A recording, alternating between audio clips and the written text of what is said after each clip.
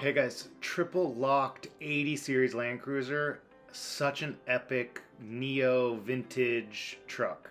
Just old enough to feel special and cool, but new enough that it's quiet, it's great to drive. Beast off road.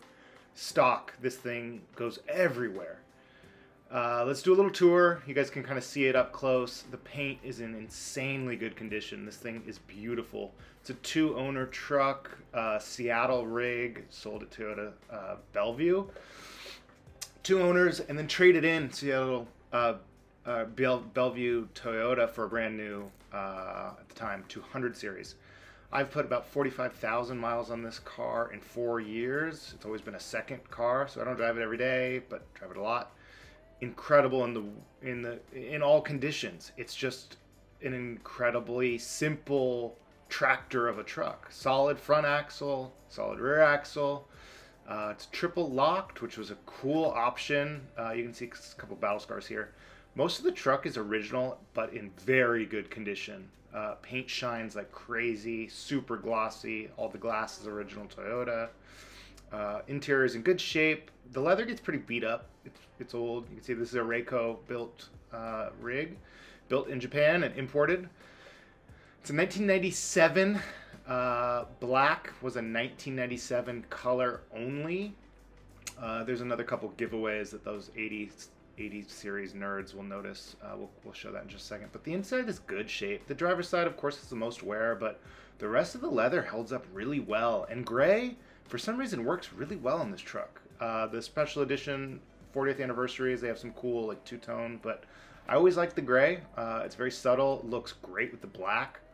Carpets are soft and plush. The the door cards look great. There's some like cracked plastics and, and little bits here and there. Uh, I put a whole new Pioneer sound system in here. You can see that part broken and some of the Pioneer uh, sound system piece. But the leather, look at the leather. It's all super soft.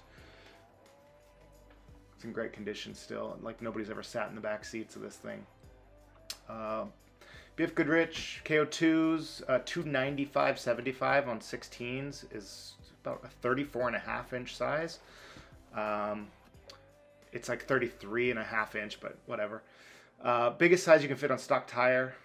Here's more the Pioneer sub. It's got a 10 inch, uh, 750 watt. Um, I believe it's a five channel, so it goes to the speakers and to the sub, and then a Pioneer in in dash double din. It's got a backup cam. Makes this really modern, um, but otherwise great space back here. I hate the back seats. I'm not going to ride with a bunch of people, so tons of storage. We're loading all sorts of stuff back here, and it's in good shape. Um, I got the antenna for the CB radio, which goes into the uh, center console. Put the TRD uh, period correct on here.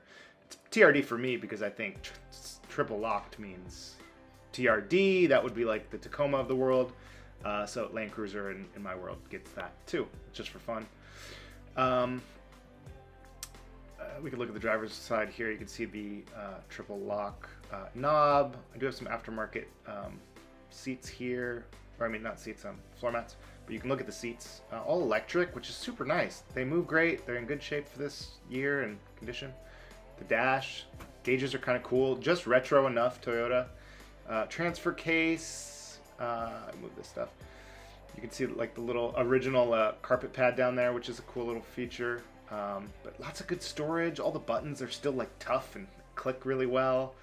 Um, 265,000 miles. This truck is a beast. Uh, it gets bad gas mileage. That should be known with big tires and you know it weighs a ton. Uh, but otherwise, there's zero complaints. Start it up here. Uh, the tractor motor. Uh, that inline six is unique to the 80 series. Uh, it wasn't put in anything else. Uh, not in the U.S. as far as I know. It's a gas gas motor. Um, in North America, we didn't have any other options. Um, I just got a 100 series Land Cruiser. Um, so this one is up for sale. Uh, check it out on Bring a Trailer. Thanks all.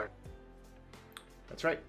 Uh, there's the M5, also sold on Bring a Trailer. Uh, don't forget, guys, like and subscribe. I'm making some new content on the new 100 series.